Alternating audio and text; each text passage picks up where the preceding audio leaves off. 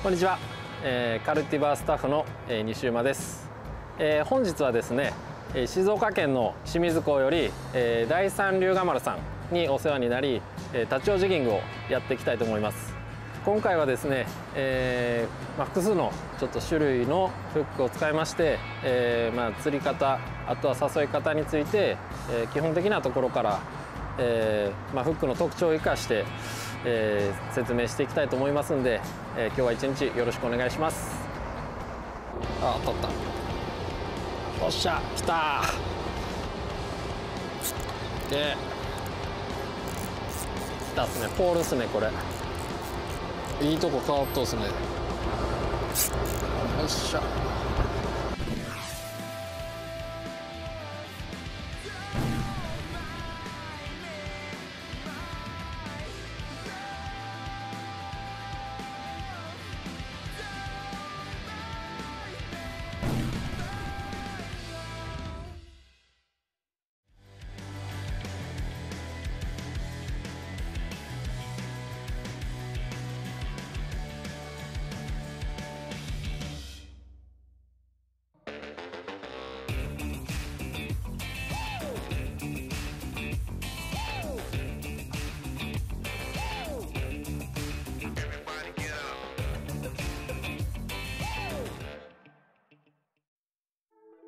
本の鋼から釣り針を作り出す。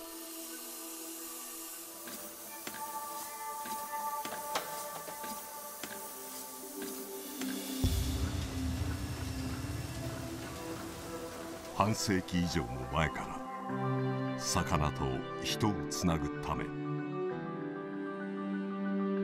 針にかける熱き思い。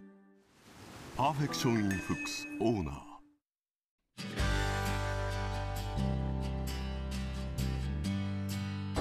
はい、えー、ポイント到着しました、えー、出征してからですねだいたい10分15分ぐらいのところのポイントになります、えー、だいぶ近いです。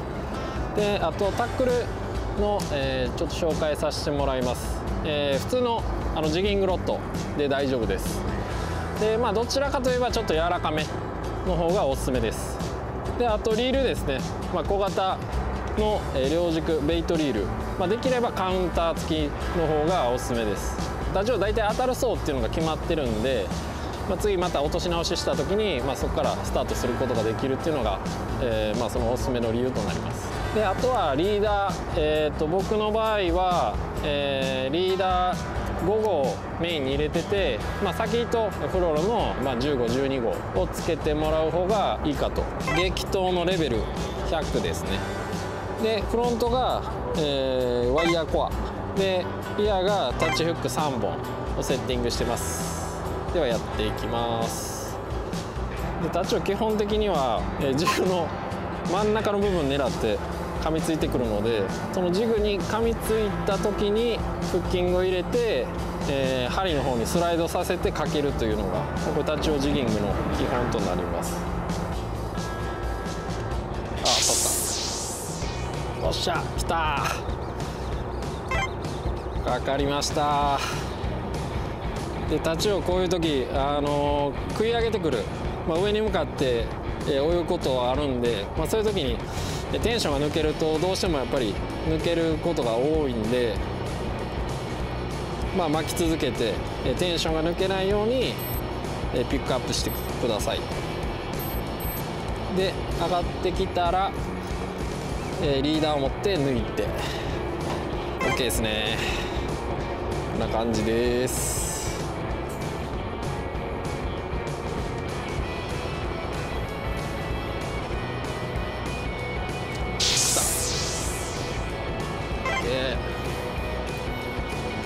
結構上ですね。30より上の部分でかかりますね。OK です。同じようなサイズですね。いきます。大きいのが欲しいですね。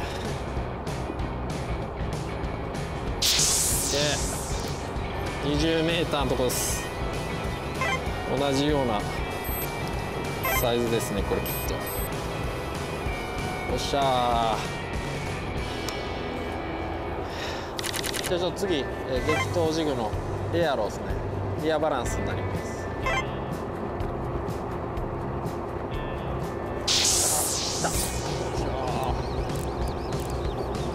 40メーターですね。OK ですこんな感じですね。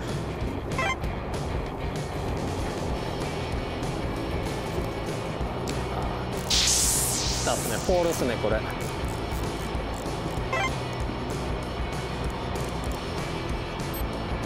よいしょフォールでがっつり。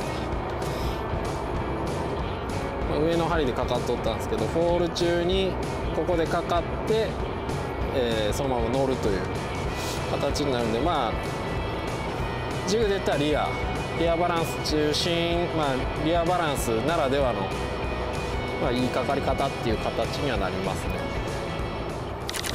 ちょっとグローに変え変えようかなと。グロー系のカラーが入ってるものにちょっとチェンジしてみます。で次がエアロをちょっとすげ替えます。んで、えー、こちらパープルとゴールド入ってるんですけど、まあ、こっちがグローになってます。なんで、えー、次はグローが入ってるもので、えー、センターバランスのレベルの方がいいのかエリアバランスのエアロの方がいいのかっていうのを探っていきます。フロントがタッチフックの3本ですね。でリアフックが、えー、ワイヤーコアタッチ3本になってます。でこれでやっていきます。こうフォールで誘うのにある程度はちょっとテンション張った状態で誘う方がいいです、まあ、糸吹けを出しすぎると、まあ、そこに刃が引っかかったりとか、まあ、反対には、えー、これマーカー入ってるんでマーカーバイトされることもあるんで本的にはやっぱりちょっとテンションかけた状態でこういうふうにフォールを入れることで食ってくるんで、まあ、あ抜けたかな。あいやついとんか。食い上げて抜けたように思うんですけどついてます。でしっかりかかってます。こんな感じですね。狙い通りですね。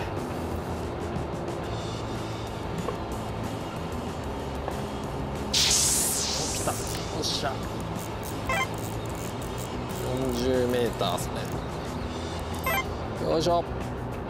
よいしょ。来ました。は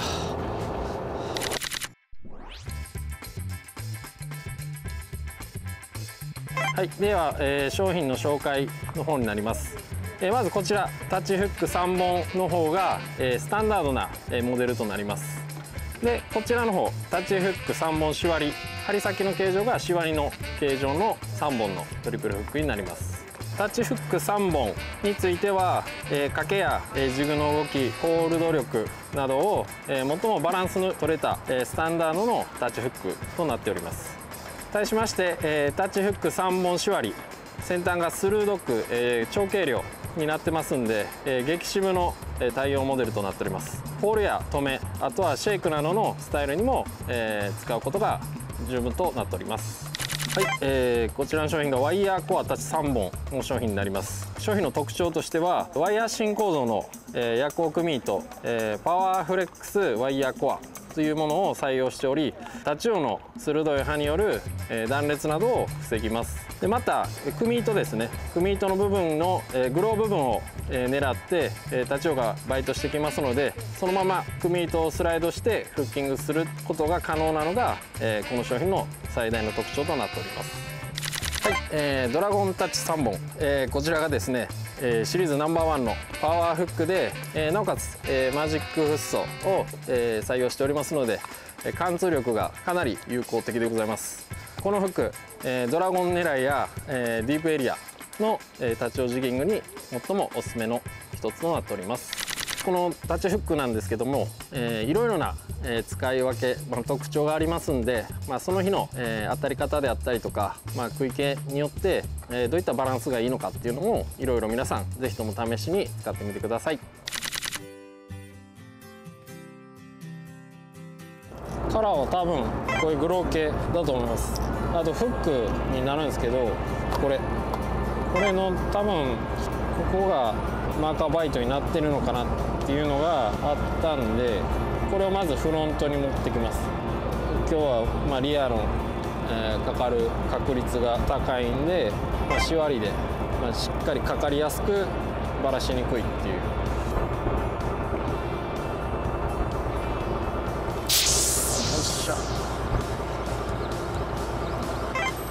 ああオッケー。来たっすね。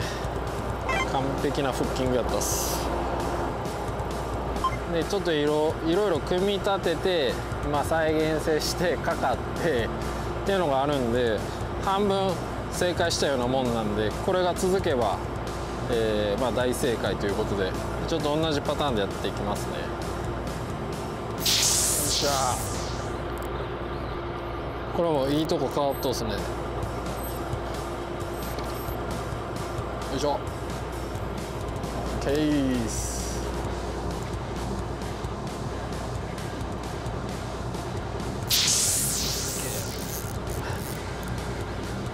連発してますが食い上げがやっぱ激しいんでかかりどこは多分ほぼ完璧捉えとうと思います。OK 完璧ですね。自分で言うのもあれですけど完璧です。はいじゃあちょっと次、えー、反面グローです。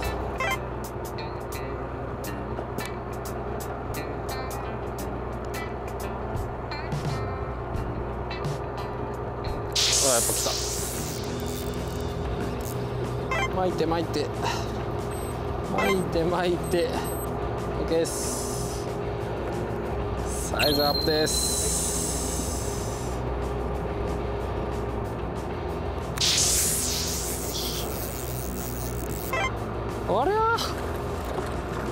これは。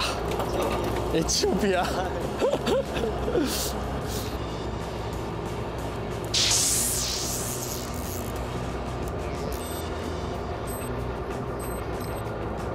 よいしょ。なんとかラスト、えー、渋い時間帯ありましたけど立ち往で無事締めくくれました。やりました。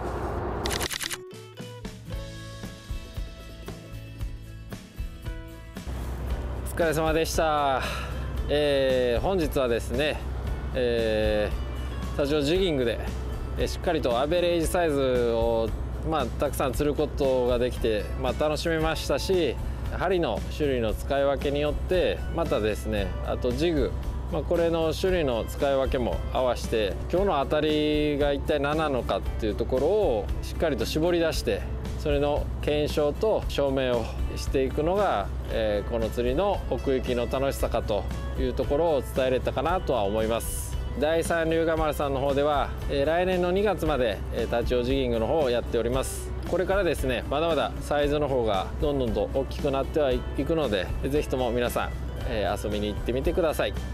では一日ありがとうございました。